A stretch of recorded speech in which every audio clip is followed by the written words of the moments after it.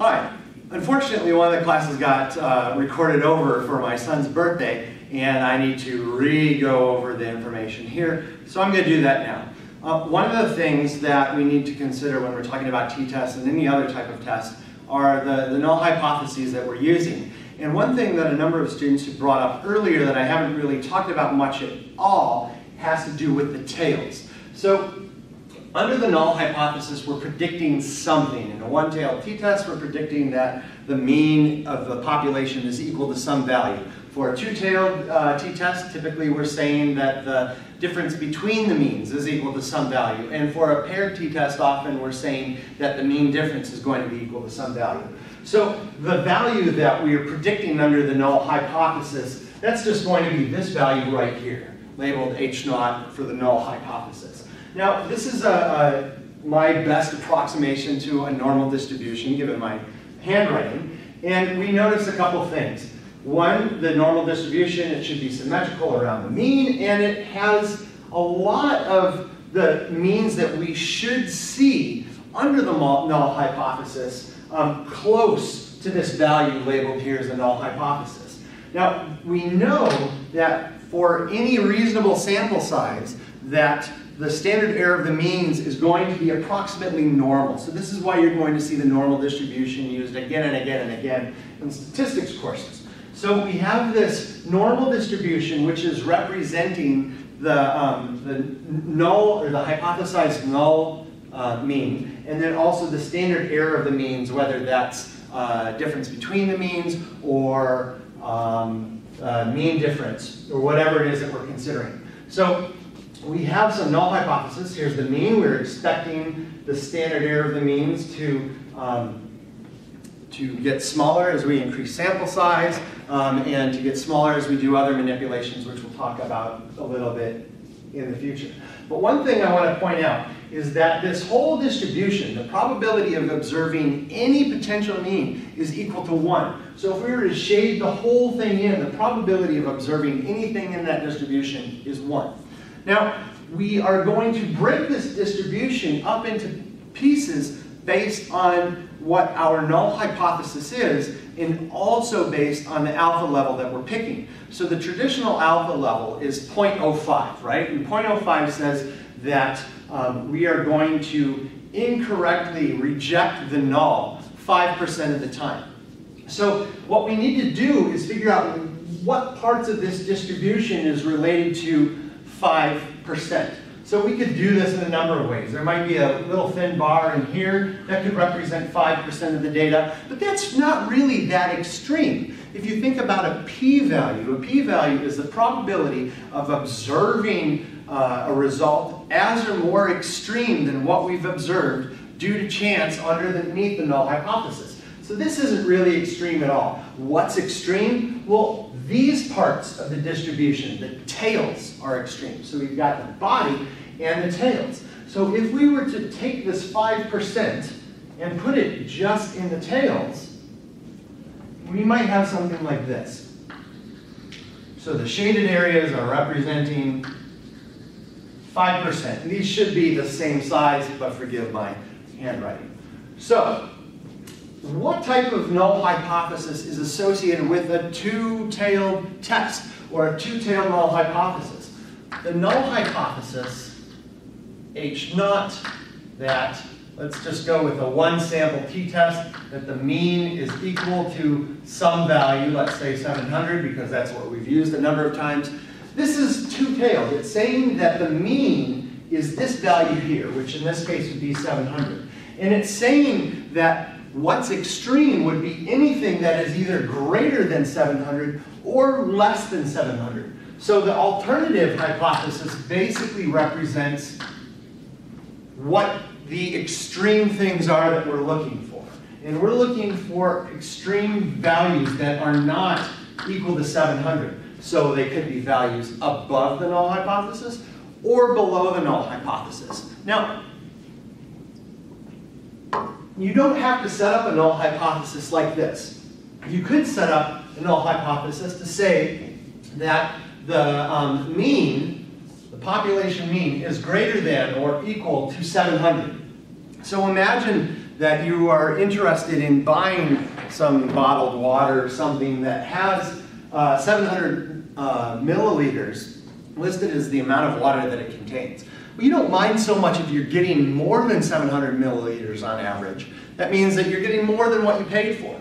But if you are getting less than 700 milliliters on average, that's a problem. So the alternative hypothesis in this situation is going to be opposite of the direction specified in the null. So if we've specified greater here, the alternative will be less than. So if we're using the same alpha, instead of splitting it up into both tails, we can't really do that anymore since this isn't that extreme. This is something that we're expecting underneath the null hypothesis. So what is extreme? Well, anything that is less than 700 is extreme. And by setting up our alpha, we're saying how extreme something needs to get before we are going to conclude that it's probably unlikely that the null hypothesis is correct. Now, if this earlier represented half of alpha, then this is really only 2.5% of the data underneath this normal distribution. And if alpha is 5, what happens is this criterion gets shifted over a little bit. So now we don't have to observe something that is as extreme before in sense of as extreme just in the 700 level. Um, so earlier we might have rejected the null hypothesis, let's say if, if the earlier cutoff was 730, well now we might be able to reject the null hypothesis if we observe something like 732. So this makes it easier for us to reject the null hypothesis if the alternative that we're interested in just has to do with one tail. So as or more extreme completely depends on the type of hypothesis that you're asking. If you are saying something like this, then the only things that are extreme, as or more extreme, are basically the value you observed and everything more extreme in the same direction. If, however, you have the bidirectional hypothesis, then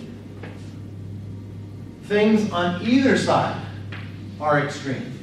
So in this situation, we would split up alpha into two pieces where we've got half of alpha on each of our tails.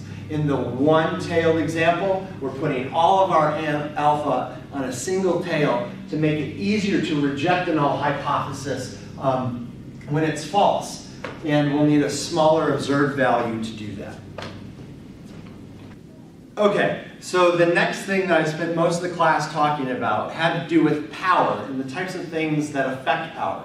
But before we get into the types of things that affect power, let's first talk a little bit about what power is and the, the different um, conclusions we can come to given our data and um, the different truths that the data really do actually represent. So you can imagine the truth for any type of question is either that there is some effect of something or no effect of something. Um, if we have no effect and we conclude that there actually was an effect, it's like saying there's a fire when there's not. And what do you call it when you say that there's a fire and there isn't? Well, that's a false alarm. Now, the false alarm in um, terms of the errors that we make when we're testing hypotheses is known as a type 1 error or an alpha error. And the probability of making a false alarm is equal to alpha. So alpha is under complete control of the experimenter or the researcher. So the researcher sets alpha and that's what it is. So we can know exactly what the probability of making a type 1 error is based on the alpha level that some researcher chooses. Now, sort of the um, opposite of a false alarm, when there really is no effect, is a correct rejection. Now, if you think about probabilities, as I said, all the probabilities under some distribution have to add up to 1. So here, I've drawn two distributions. I've drawn a distribution for the mean underneath a, a null hypothesis, and I've also drawn a distribution for the mean that we actually observed, centered around the observed mean. So if we're thinking about no effect. This is the truth. We're really working with this. So this is the truth for this situation. There's no effect. Now imagine that we're doing uh, a one-tailed t-test. And let's say that we're going to be interested only in this tail that's over here, okay? So let's say we're using the traditional alpha level, so that means that 5% of all of the observations that we would observe when no effect is the actual truth would fall in this tail right there. Now consider, this entire distribution here is representative of the truth, right? When we set up here, imagine that the truth is no effect. So the false alarm, or type 1 error, is represented by this portion that would go off to infinity over here. Whereas the correct rejection is equal to 1 minus alpha, right? All of the probabilities have to add up to 1 for a particular distribution. So if this is the alpha error, then this is going to be the probability of a correct rejection. Any of the means that we observe, when that is the truth, that are within this section going on to negative infinity, are indicative that um, are, going to lead us to fail to reject the null hypothesis. So whereas this represents the alpha error, which is just the probability, or which the probability of is just alpha, this represents our correct rejection region, the probability of which is just 1 minus alpha. Now, let's consider a different situation. Imagine in this situation, the truth actually is that there is an effect, that our manipulation produced some effect. Or maybe in the terms of a one um, sample t-test, not that there's an effect, but that the mean that we observe is different from the value that we were predicting underneath the null hypothesis.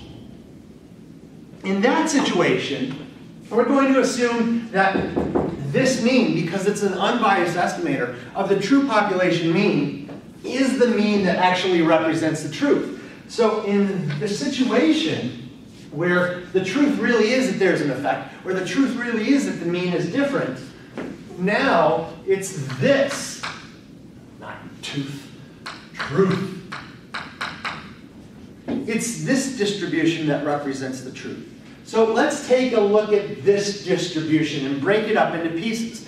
We're going to use the same criterion that we had under the null to break up our distribution into pieces.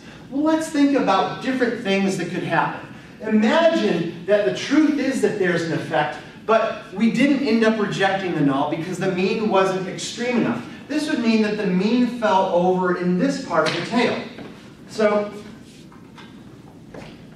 if this is the cutoff, then this portion of the distribution underneath the alternative hypothesis is going to represent misses, right? Because the truth really is that there was an effect, that the mean was different. However, the mean that we actually observed, it wasn't extreme enough for us to say, aha, we're going to reject the null hypothesis and conclude that there was an effect. So this is basically a miss, right? The, the effect, the truth is that there was an effect, but we couldn't see it. So the probability that we make a miss, and I should write in one more thing. A miss is known as a type 2 error.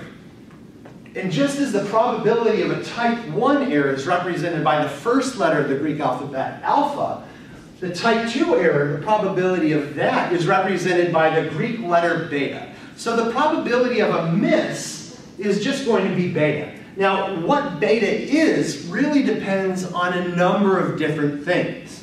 It depends on how far apart these distributions are spread. It depends how uh, much spread there is around the, the mean that we actually observe. So think about the standard error of the mean. And it depends on the criterion. If we shifted the criterion up to, or down to here, let's say we did a two um, tail test instead of a one, so we would also reject the mean if it fell over here.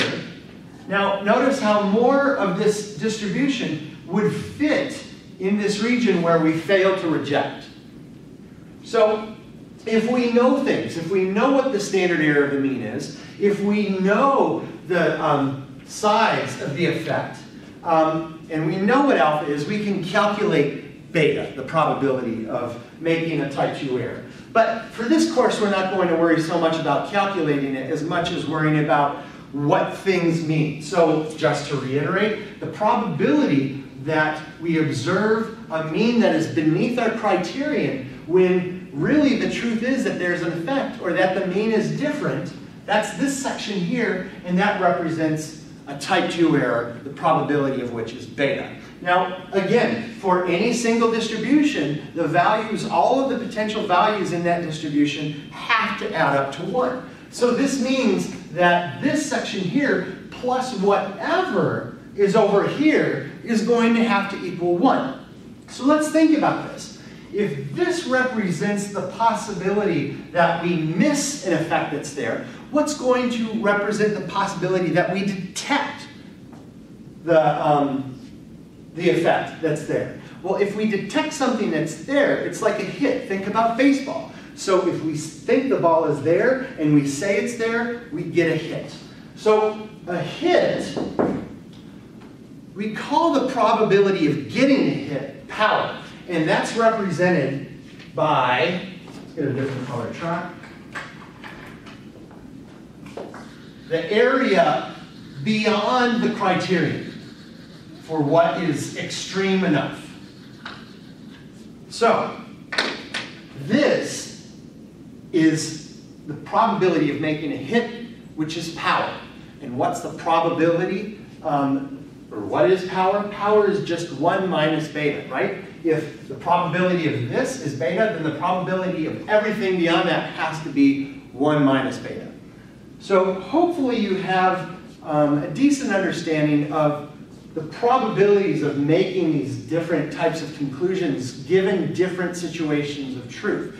So now what I want to do is talk about how different things are going to affect power and affect also the probability of making a type 2 error. Because anything that's going to affect power is going to affect the probability of making a uh, type 2 error. We can see this by imagining that we shift the um, criterion down even more. Maybe we use a really, really small alpha. So notice now that the probability that we make a type 2 error, this is a much larger region, so it's going to be much larger. And now this region is much smaller.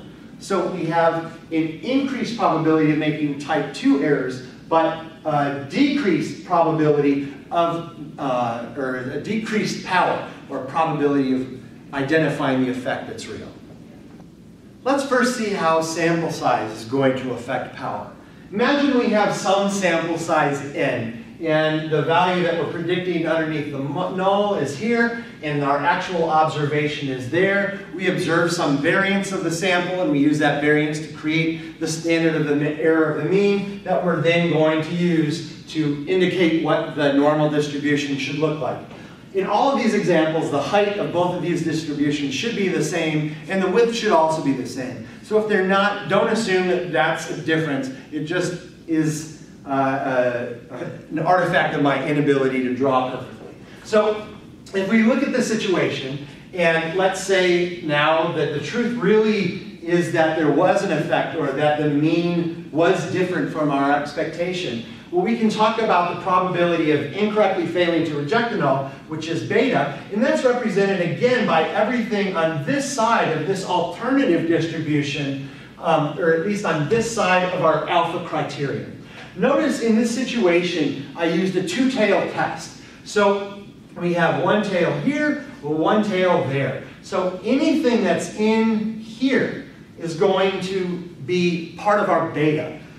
Our Power, though, is the probability that we correctly reject the null hypothesis when it's false. So that's represented on everything to this side of the criterion. And also, since this is a two-tailed test, we have another criterion over here. So this probability, or these probabilities there, are really, really tiny, um, but they are something. So the power for the two-tailed situation would be represented by everything more extreme given both criterion. Um, but primarily, I'm just going to focus on this since this is a fairly trivial amount. It, it's something, so don't forget about it. But the important points that I want to make have to do more with the bulk of the distribution there. So now let's say we take another sample. And the sample is uh, much larger than it was before. So it's not n, but it's n plus something else. Maybe m, maybe it's twice as large, three times as large, a couple larger. Now what happens as we get a larger sample size? One of the things that happens with the larger sample size is that the standard error of the mean decreases. Now this isn't going to push things farther away in the sense that these means are all of a sudden getting farther apart in an absolute sense. Instead what it means is that the distributions are going to be more tightly packed. So if I were to redraw these types of distributions, we should have something like this. Let's see if I can figure out exactly the difference. So there.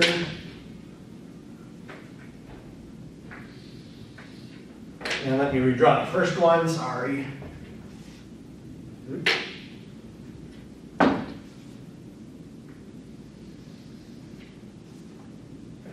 So,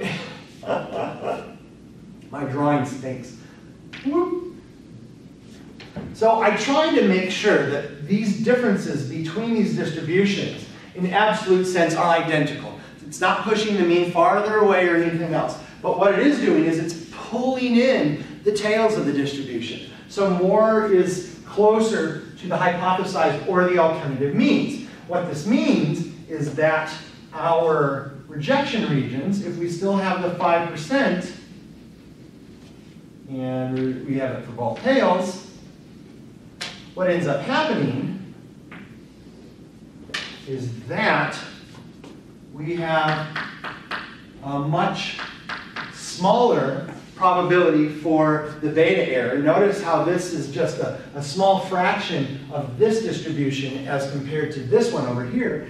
And the probability of uh, correctly rejecting the null hypothesis is much, much greater. It's a much bigger part of that distribution. So when we take a larger sample size, the standard error of the mean shrinks up, and this has the effect of um, not only pulling this criterion a bit closer to the hypothesized mean, but also since the standard error of the means are smaller, it's going to mean that less of this distribution will fall within the fail to reject region.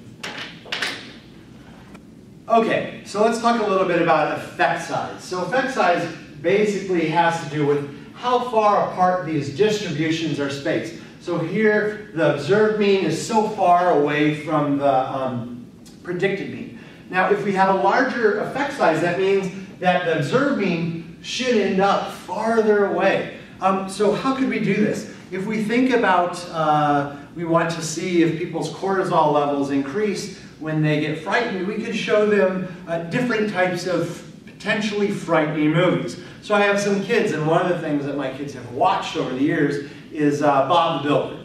So in Bob the Builder, there's this one uh, cranny or something, and he's constantly afraid, and he's almost going to uh, run over uh, Porcupine or something. Actually, that might be a different character. But anyway, so imagine the suspense in Bob the Builder is building. Oh my goodness, how much cortisol are people producing? Now this is a pretty weak manipulation, right? We wouldn't expect a lot of people to have a strong visceral reaction to watching some um, claymation uh, porcupine face potential death, right? Especially in the playful way that they do it in Bob the Builder. Um, so we could have a situation where they're watching that and other people are watching, uh, you know, nothing scary at all, just some pretty nature scenes, the, the um, what am I thinking of? The, the waves lapping up on the beach, not at all scary. So imagine that we've done that here. Now, what would be the difference in cortisol levels if instead of looking at pretty nature scenes and sort of scary Bob the Builder with like pretty nature scenes and Saw or some other scary, much scarier um, movie scene? Well, what should happen is that the distributions should go much farther apart from one another. So if this is the null, I'm trying to make it so that way the standard error of the mean is exactly the same, and this is our alternative. Notice how the alternative mean is so much farther away from the hypothesized mean. also, if we were to create the rejection regions, boop, boop, boop. Now, since this distribution goes all the way off to negative and positive infinity, there will be some, you know, probability of observing some mean there, but it's really minimal. And look, almost the entire distribution is over here. So this would mean that we have absolutely a ton of power. Wow. And we have a very, very small probability of a type 2 error, which would be represented by the probabilities representing this distribution within this area where we are going to fail to reject the null. So sample size pulled in the standard error of the means. By using the stronger manipulation, we end up pushing a mean farther away. So another way that we can increase power and decrease the probability of making a type 2 error is by increasing our alpha size. So again, we have sort of the default situation over here, and if we were to plot the same two distributions, they're the same because alpha size isn't going to affect the standard error of the mean or the distance between those means. So I'm going to try to do this as close as I can. Probably gonna fail a bit, but uh, that's okay. So let's say that these are exactly equal. And here, with using an alpha of 0.05, I should only have 2.5% of uh, the, each tail represented there. But now if I'm using an alpha of 0.2, that means I'm making uh, a type 1 error 20% of the time when the null hypothesis is true. That's really bad. But by using such a huge alpha, we can see exactly what effect this is going to have. So basically with an alpha of 0.2, 20% of the distribution predicted by the null hypothesis should be in the tails. So this is going to make these tails much, much larger.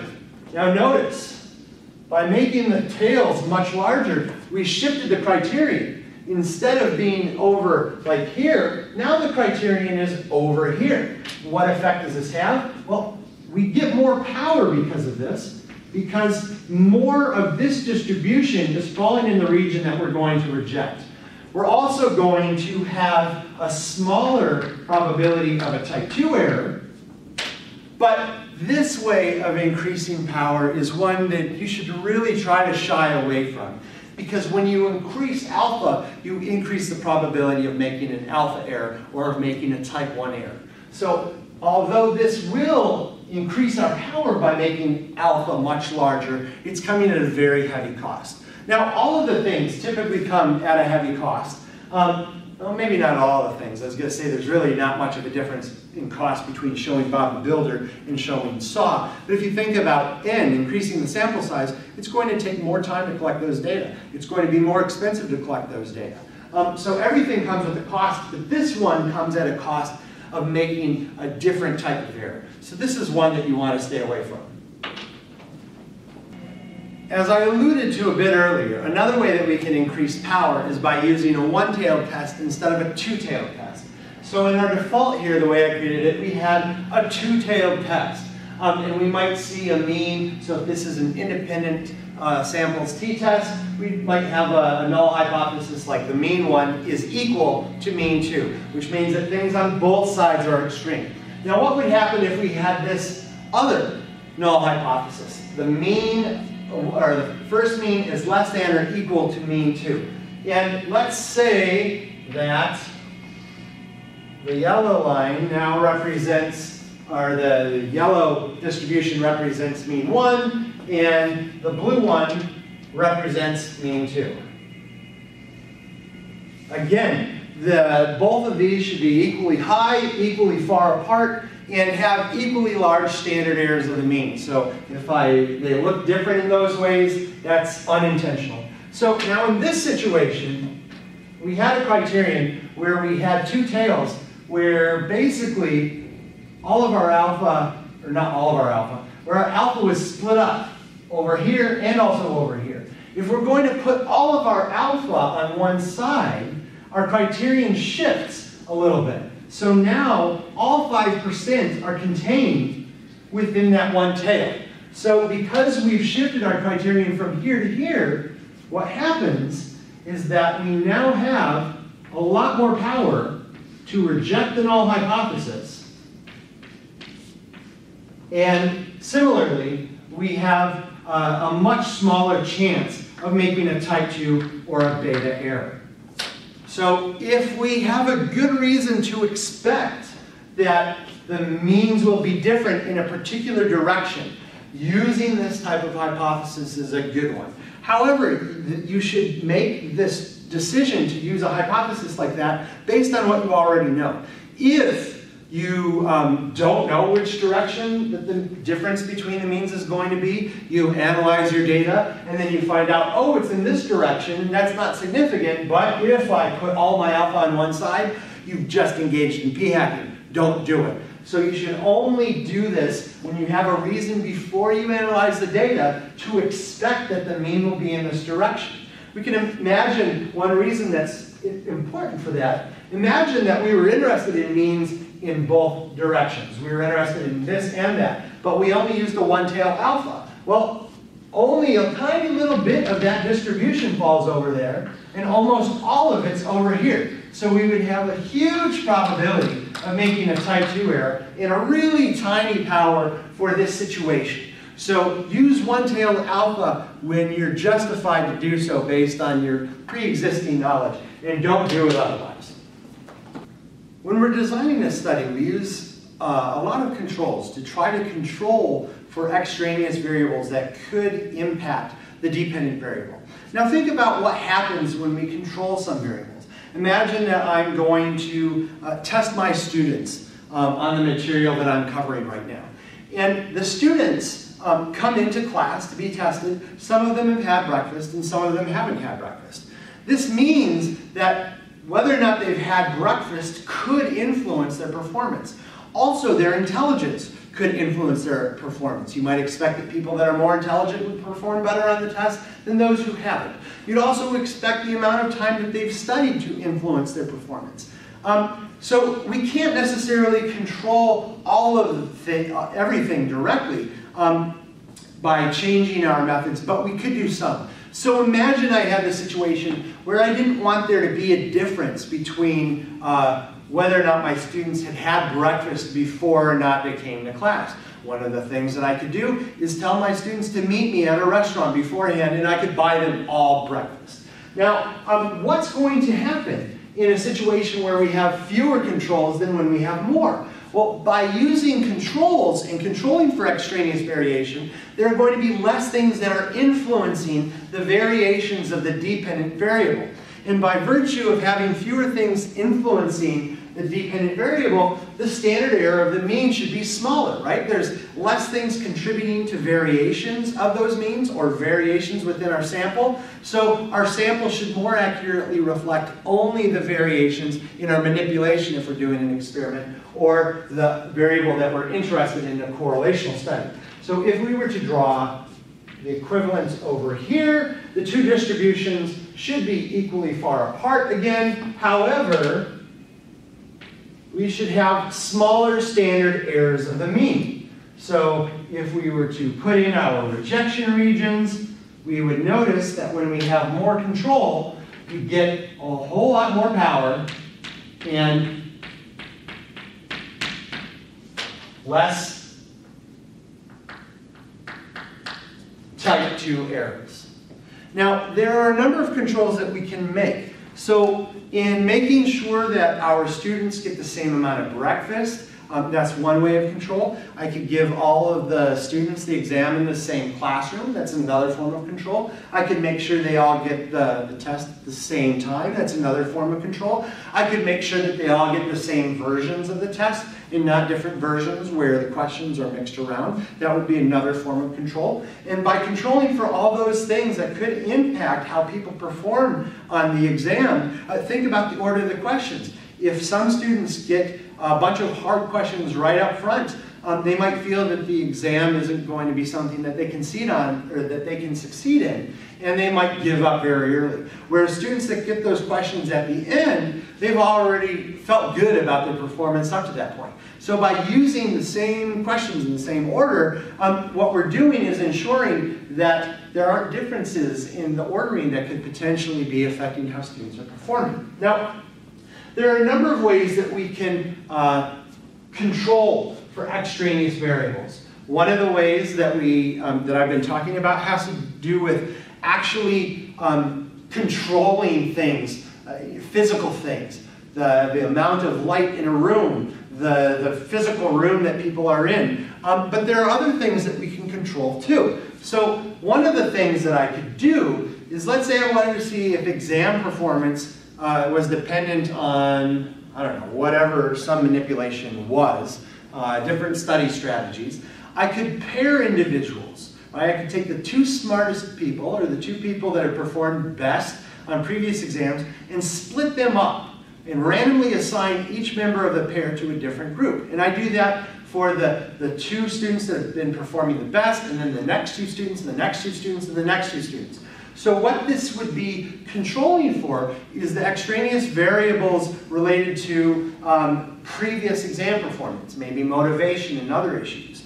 Um, so by using paired participants as opposed to not pairs, what we end up doing is we also decrease the variations because by having pairs, we can look at the differences between the members of the different pairs as opposed to just looking at the differences in the distribution altogether. In that situation, um, you can imagine that these two distributions are going to represent uh, mean differences, so mean diffs under the null, and also the mean differences uh, sorry, the mean differences underneath the alternative hypothesis, where they're both the same, but because the differences on that paired variable, if that paired variable was a good one to pair on, we're going to decrease the standard error of the mean of the differences. So that's a good thing. Um, in addition to just pairing individuals, we could go beyond that, and we could use a repeated measures design. So in a repeated measures design, we're basically using each person or each school or each whatever we're interested in as their own pair. So we can directly compare their performance in one situation to their performance in another. And this is going to be so much better than just pairing people on, you know, how have you done in the class up to this point? Because how they've done up to this point doesn't necessarily affect other things um, that are going to be more constant within them. So by looking at the same individuals at time or in different conditions, we're controlling for a whole lot more extraneous variables, which is going to decrease the standard error of the means and shift the criterion so it's closer to the, um, the value that we're expecting under the null hypothesis, both of which will end up giving us more power.